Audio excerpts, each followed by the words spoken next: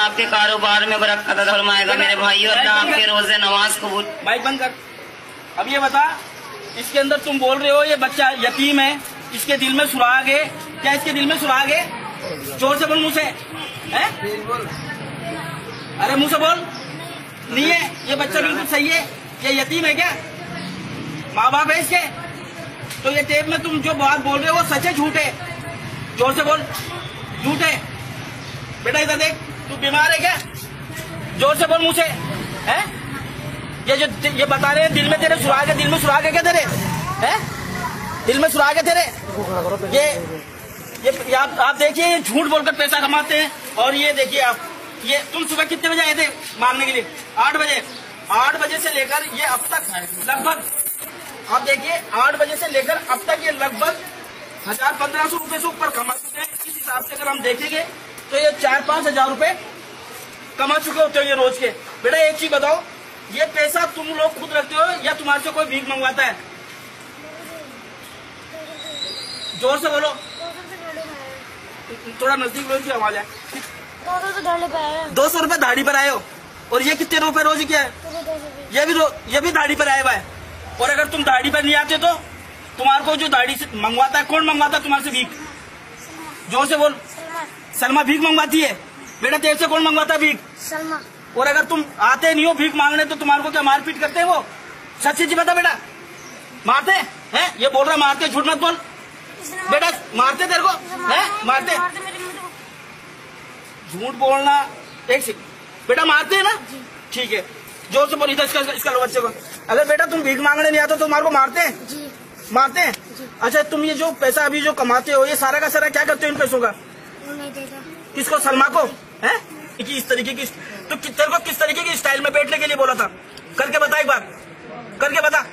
करके बता। सलमान सलमान ने क्या वो इस तरीके से बिठाया था तेरे को? और तू ऐसे कब तक बैठा रहता है?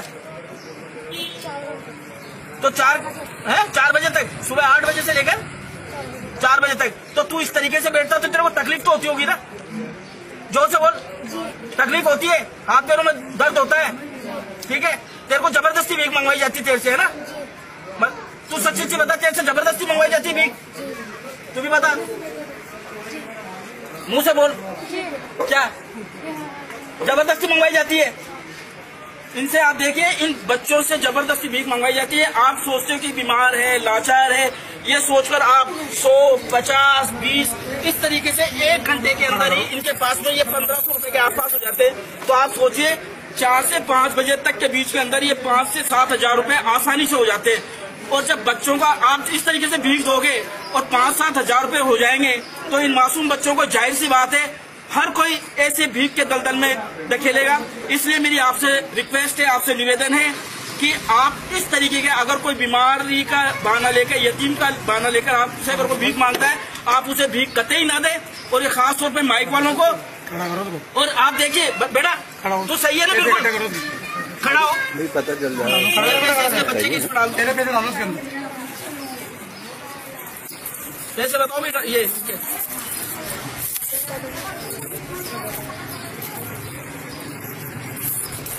हाँ आज के टाइम पर राजस्थान मानव तस्करी के अंदर भारत में दूसरे नंबर पर है और पश्चिम में बंगाल पहले नंबर पे और पूरे विश्व में भारत पहले नंबर पर आ रहा है। वो इसलिए आ रहा है कि जब चार घंटे के अंदर पाँच घंटे के अंदर पाँच से सात हज़ार रुपये बच्चों के द्वारा भीख मंगवाई जा सकती है तो इन बच्चों को तो फिर भी आप सोच सकते हैं कि आप ये हाथ पैर नहीं काटे गए हैं। जिन बच्चों का अपहरण कितने किया जाता है उनके हाथ पैर तक काट लेते हैं ये भीख मंगवाने वाले। ये पकड़ो इसके पैसे?